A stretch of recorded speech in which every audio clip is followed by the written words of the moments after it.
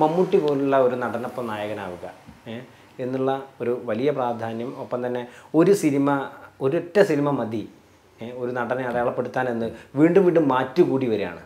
ഇപ്പോഴും ചർച്ച ചെയ്തുകൊണ്ടിരിക്കുന്നു. ഇപ്പോൾ അടുത്ത് സുവീര നാടകം ചെയ്തു ഭാസ്കര പട്ടേൽ ഒരു കണ്ട് ചെയ്തു. ഇപ്പോഴും ഭയങ്കരമായി ചർച്ച ചെയ്തുകൊണ്ടിരിക്കുന്ന നോവൽ അതിന്റെ പലതരത്തിലുള്ള വായനകളൊക്കെ വന്നുകൊണ്ടിരിക്കുന്ന സംഭവം. മമ്മൂട്ടിയുടെ ഈ പറഞ്ഞ അഭിനയ ജീവിതത്തിന്റെ ഒരു ഘട്ടമെത്തി നിൽക്കുന്ന സമയത്തും അത് വലിയ ചർച്ചയായി.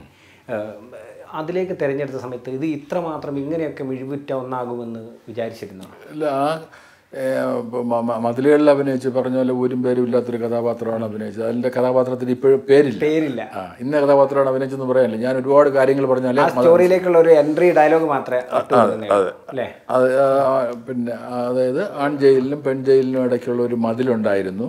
ആ. മതിലിൽ ഈ തടവുകാർ തന്നെ ഒരു തുള ഉണ്ടാക്കിയിട്ട് അതിൽ ആൺ തടവുകാരും പെൺ തടവുകാരും പരസ്പരം സ്നേഹവും പ്രേമവും ഒക്കെ കൈകാര്യം കൈമാറ്റം ചെയ്തിരുന്നു എന്ന് ബഷീറിന് പറഞ്ഞു കൊടുക്കുന്ന ഒരാൾ ഇത്രയും പറയണം എനിക്ക്. ഇത്രയും ഡയലോഗ് ഇപ്പോഴും ഓർമ്മിക്കുന്നത് തന്നെയാണ് ഒരു നടന്റെ ഒരു എന്താ പറയുക ക്വാളിറ്റി എന്ന് പറയുന്നത്. ഞാൻ അതാണ് ഞാൻ ആലോചിച്ചത്. അത് വിട്ടുപോകാതെ ഒരൊറ്റ സ്ട്രക്ചറിൽ തന്നെ പറഞ്ഞു തീർക്കുക എന്ന് പറയുന്നത്. അപ്പോൾ അടൂർ സാറത്തുള്ള ആ ഒരു അനുഭവം അപ്പം തന്നെ അപ്പോൾ ആ ഈ അത് കഴിഞ്ഞിട്ട് അങ്ങനെ ഒരു ക്യാരക്ടർ ചെയ്തിട്ടാണ് അത് എയ്റ്റി നയനിലാണ് എൺപത്തൊമ്പതിലാണ് അത് കഴിഞ്ഞിട്ട് നാല് വർഷം കഴിഞ്ഞിട്ടാണ് ഈ തൊണ്ണൂറ്റി മൂന്നിൽ ഈ വിധേയൻ എന്ന് പറയുന്ന സിനിമ അവിടെ അപ്പോൾ അതിന് തൊട്ട് മുമ്പ് ഞാനൊരു നാടകം അഭിനയിച്ചു. അത് നമ്മുടെ രവി വള്ളത്തോൾ രവി- വള്ളത്തോൾ എഴുതി ഇവിടെ ഇവിടുത്തെ ഒരു വായനശാലയുണ്ട്.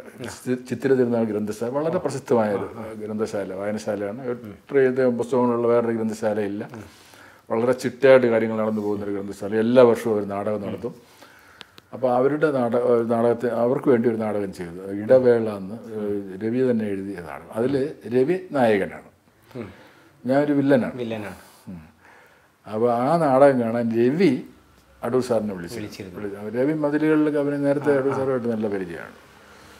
അപ്പോൾ അടൂർ സാർ നാടകം അടൂർ സാർ നാടകം കാണാൻ ആ നാടകം കണ്ടിട്ട് പുള്ളി T N Gopi T N Gopinathan നായരുടെ മകനാണ് രവിയോട് രവി ഉള്ളത്. ടി എൻ ഗോപിനാഥൻ നായർക്ക് ഒരു കത്തൊക്കെ എഴുതി.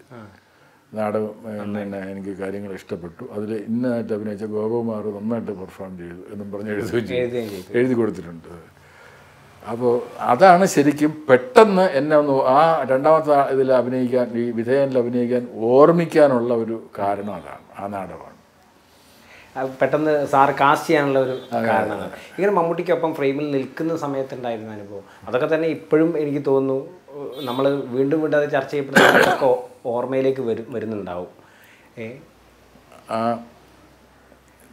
ഞാൻ പറഞ്ഞാൽ ഈ അതിനു മുമ്പ് ഞാൻ ഇത് ചെയ്തിട്ടുണ്ട് സീരിയൽസ് ഒക്കെ ചെറിയ മൂന്നോ നാല് സീരിയൽ സമയമാണ്. അപ്പോൾ ക്യാമറ എന്ന് പറയുന്ന ഒരു മീഡിയം എനിക്ക് ഏകദേശം പഠിച്ചു പഠിച്ചു കഴിഞ്ഞു മനസ്സിലാക്കി കഴിഞ്ഞു പേടിയില്ല. പിന്നെ മമ്മൂട്ടി എന്ന് പറയുന്ന ഒരു നടൻ. മമ്മൂട്ടി എന്ന് പറയുന്ന നടനെ നേരത്തെ തന്നെ ഈ മതിലുകളിൽ പരിചയപ്പെട്ട് കഴിഞ്ഞു. ഒരുമിച്ച് കുറേ ദിവസം ഉണ്ട്. ഏഴെട്ട് ദിവസം ജയിലിനകത്ത് എല്ലാ ദിവസവും രാവിലെ ജയിലിൽ ജയിലിൽ പോകും. അവരെ തുറന്നു വിടും ഞങ്ങളകത്ത് കയറ്റും. അങ്ങനെയൊക്കെയാണ്. അങ്ങനെ അപ്പോൾ ഒരുമിച്ച് തന്നെ രാവിലെ തൊട്ട് വൈകുന്നേരം വരെ വീഡിയോ വിളിച്ച് അതിനകത്ത് കഴിഞ്ഞു കൊടുക്കുന്നു അപ്പോൾ വലിയ ഒരു മമ്മൂട്ടിയും ഒരു പേടിയില്ല. പിന്നെ വേറൊരു കാര്യം അടൂർ സാറിനെ പോലുള്ള ഒരാളുടെ കീഴിലാണ് നമ്മൾ രണ്ടുപേരും നിൽക്കുന്നത്. അപ്പോൾ നമുക്ക് വേണ്ട പ്രൊട്ടക്ഷൻ അവിടെ ഉണ്ടല്ലോ എന്നുള്ളൊരു ഇതുണ്ട്. ആ ഒരു വിശ്വാസമുണ്ട്. അപ്പോൾ ഒരു നമ്മൾ ആദ്യത്തെ സീൻ അഭിനയിച്ചിട്ട് പിന്നെ ഇത് അടൂർ സാറും മങ്കടയും കൂടെ നോക്കി പരസ്പരം നോക്കിയിട്ടൊരു ഒരു ഒരു അവരുടെ ഒരു മുഖത്തുള്ള ഒരു ഒരു സംതൃപ്തി- ഈ ക്യാരക്ടർ ട്രാക്ക് ഇത് തന്നെയാണ് എന്ന് തോന്നി.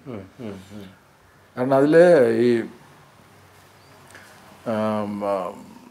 സക്രിയയുടെ കഥയിൽ ഈ ക്യാരക്ടർ കാർട്ടൂണിക്കാണ് അല്ല ക്യാരക്ടേഴ്സ്? എല്ലാം. എല്ലാം പക്ഷെ ആ കാർട്ടൂണിക്ക് എന്ന് പറയുന്ന സിനിമയിൽ അങ്ങനെ വന്നാൽ ഒരു ശരിയാവില്ല.